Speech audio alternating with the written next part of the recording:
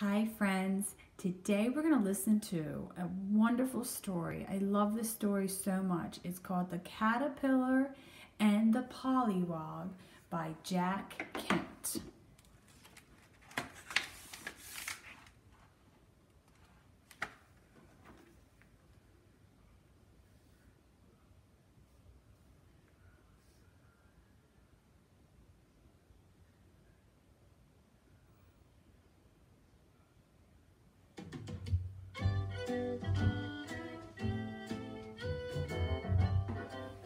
The Caterpillar and the Pollywog by Jack Kent.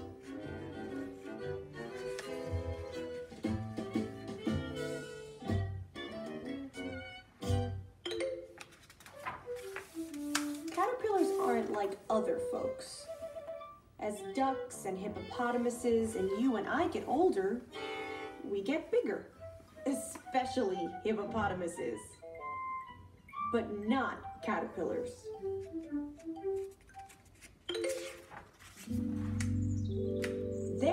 Turn into butterflies. Turning into something else like that is not a thing just anybody can do. Down by the pond, there lived a caterpillar who was very proud of being different. She bragged about it to her friends. When I grow up, I'm going to turn into something else, she told the snail. That's nice, said the snail, who really didn't care one way or the other.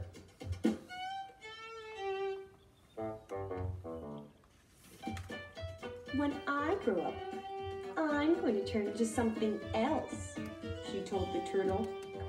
I don't blame you, said the turtle, who didn't much like wiggly things.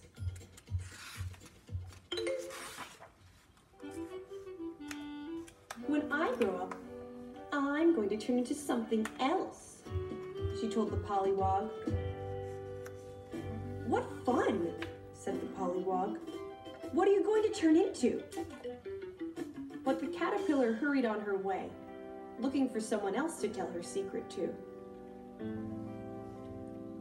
I wish I could turn into something else when I grow up, said the pollywog. You will, said the fish. All pollywogs do. What am I going to turn into? The pollywog asked. But the fish saw a tasty bug and dashed after it. When I grow up, said the caterpillar, who had circled the pond and was going around for the second time. When I grow up, she told the pollywog again, I'm going to turn into something else. So am I, said the pollywog. You? The caterpillar was so surprised she almost fell into the pond. The fish said so, the pollywog told her. Fish know things. They go to school. The caterpillar was upset. I thought only caterpillars could do it, she said rather sadly. What are we going to turn into? The pollywog asked. Well, I'm going to turn into a butterfly, said the caterpillar. Then I guess I will too, the pollywog said happily. What fun! Let's do it together. All right, the caterpillar agreed, although she would rather have done it alone. But I get to go first. The pollywog didn't mind. He wasn't at all sure how it was done. I'll watch you, he said. So when the time came, the caterpillar started to spin a cocoon. This is the tricky part, she said.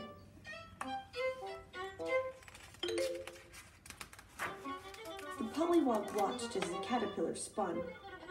Soon only her head was uncovered. Now I have to close the lid, she said.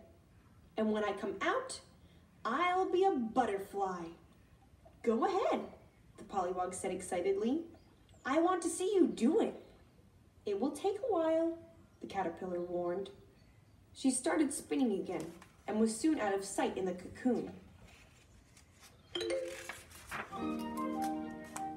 For a long time, nothing happened. But the pollywog was patient. He watched and watched and watched. For days and days and days. At last, there was activity in the cocoon.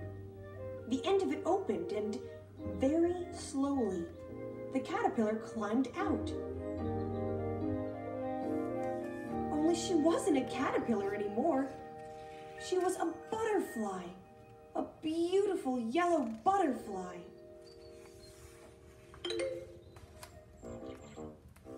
Pollywog was so excited he hopped up and down with delight. He hopped up and down like a frog. I was so busy watching you, he said, I didn't notice what was happening to me.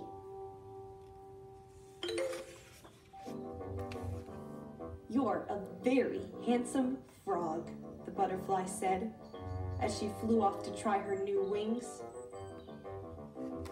The frog was puzzled. I thought I was going to be a butterfly, he said.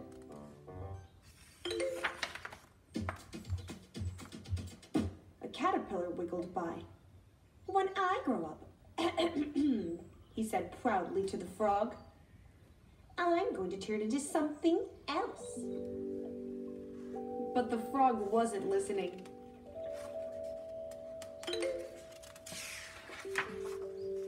Was admiring his reflection in the water. I am, you know, a very handsome frog, he said.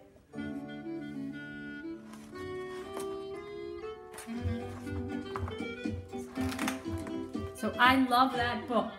So I want you to think about what could you possibly turn into if you weren't yourself? Would you want to be a unicorn? Would you want to be um, a superhero? Like, what superhero would you want to turn into? So it'd be great if you either draw it or you could post it on our Padlet. But I'd love to see what else that you would love to be if you if you weren't yourself. Have a great day, guys.